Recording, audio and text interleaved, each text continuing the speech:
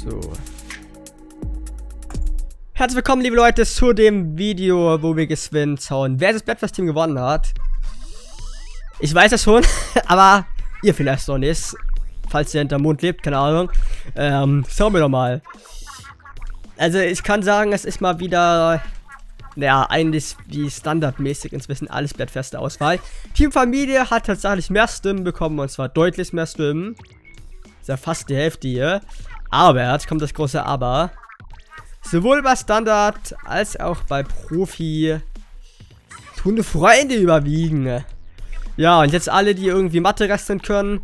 Eins für Familie, zwei für Freunde. Was ergibt das? Hm. 2 zu 0, es war für 1 für Freunde. 2 für 0 für allen. Ja, aber Mathe ist nicht so meins. Ja, ne, und damit haben Freunde gewonnen in diesem Splatfest. Richtig unnötig, meiner Meinung nach. Aber okay. Aber es ist immer, immer das Team, wo es drin verliert halt. Immer so. Ja, das war's eins mit dem Video. Alter, hier, eine Minute zwölf hier. Ja gut, ich wollte einfach nur mal jetzt von droppen, welches Team gewonnen hat, ne. Haut's rein, Leute. Wir sehen uns beim nächsten Platoon-Part wieder. Macht's gut, bis dahin. Und ciao!